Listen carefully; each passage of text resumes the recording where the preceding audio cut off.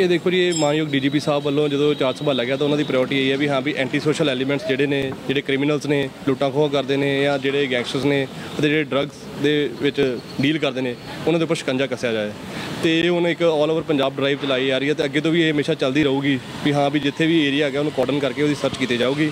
Proper way ਜਿਹੜੇ ਵੀ ਬੰਦੇ ਜਿਹੜੇ ਦੋਸ਼ੀ ਪਾਏ ਗਏ ਜਾਂ ਜਿਨ੍ਹਾਂ ਤੋਂ ਕੋਈ ਰਿਕਵਰੀ ਹੋਈ ਉਹਨਾਂ ਦੇ ਉੱਪਰ ਸਖਤ ਤੋਂ ਸਖਤ ਕਾਰਵਾਈ ਕੀਤੀ ਜਾਊਗੀ ਲੋਕਾਂ ਨੂੰ ਕੀ ਸੰਦੇਸ਼ ਸੰਦੇਸ਼ ਤਾਂ ਅਸੀਂ ਇਹ ਦਿਆਂਗੇ ਵੀ ਹਾਂਜੀ ਠੀਕ ਹੈ ਵੀ ਆਪਣੀ ਇੱਕ ਡਿਊਟੀ ਸਮਝਦੇ ਹੋਏ ਜਿੱਥੇ ਵੀ ਉਹਨਾਂ ਨੂੰ ਲੱਗਦਾ ਵੀ ਹਾਂ ਵੀ ਕੋਈ ਐਂਟੀ ਸੋਸ਼ਲ ਐਲੀਮੈਂਟ ਜਾਂ ਐਂਟੀ ਮਤਲਬ ਆਪਣੀ ਸੋਸ਼ਲ ਐਕਟੀਵਿਟੀ ਚੱਲ ਰਹੀ ਹੈ ਉਹਦੇ ਬਾਰੇ ਪੁਲਿਸ ਨੂੰ ਇਨਫੋਰਮ ਕਰਨ ਗੁਪਤ ਤੌਰ ਤੇ ਤੇ ਪੁਲਿਸ ਐਕਸ਼ਨ ਲੈਂਦੇ ਹੋਏ ਉਹਨਾਂ ਜਿਹੜੇ ਵੀ ਕ੍ਰਿਮੀਨਲਸ ਨੇ ਉਹਨਾਂ ਦੇ ਉੱਪਰ ਸ਼ਿਕੰਜਾ ਕੱਸੂਗੀ ਤੇ ਪੰਜਾਬ ਨੂੰ ਨਸ਼ਾ ਮੁਕਤ ਤੇ ਕ੍ਰਿਮੀਨਲ ਮੁਕਤ ਬਣਾਊਗੀ।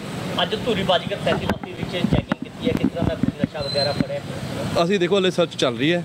ਤੇ ਇੱਥੇ ਘੱਟੋ ਘੱਟ 200 ਤੋਂ 250 250 ਦੇ ਕਰੀਬ ਅਸੀਂ ਫੋਰਸ ਲਾ ਕੇ ਇਹਨੂੰ ਕਾਰਡਨ ਕਰਕੇ ਸਰਚ ਕਰ ਰਹੇ ਹਾਂ ਇਹਦੀ।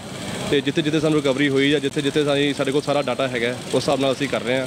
ਇਹ ਇਕੱਲੀ ਇੱਥੇ ਨਹੀਂ ਚੱਲ ਰਹੀ ਜੀ ਪੂਰੇ ਪੰਜਾਬ 'ਚ ਅਲੱਗ-ਅਲੱਗ ਜਗ੍ਹਾ ਤੇ ਚੱਲ ਰਹੀ ਹੈ ਸਾਡੇ ਸੰਗਰੂਰ ਵੀ ਚੱਲ ਰਹੀ ਹੈ ਇੱਕ ਆਪਣਾ ਇੱਕ ਹੋਰ ਜਗ੍ਹਾ ਤੇ ਤੇ ਪਟਿਆਲੇ ਵੀ ਚੱਲ ਰਹੀ ਹੈ ਸਾਰੇ ਪੰਜਾਬ 'ਚ ਸਰਚ ਆਪਰੇਸ਼ਨ ਚੱਲ ਰਹੇ ਨੇ। ਕੀ ਸੱਚ ਆਪਰੇਸ਼ਨ ਤੁਹਾਡਾ ਇਹ ਲਗਾਤਾਰ ਚੱਲਦਾ ਜਾਰੀ ਰਹੇਗਾ? ਇਹ ਅੱਗੇ ਵੀ ਜਾਰੀ ਰਹਿਣਗੇ ਜੀ।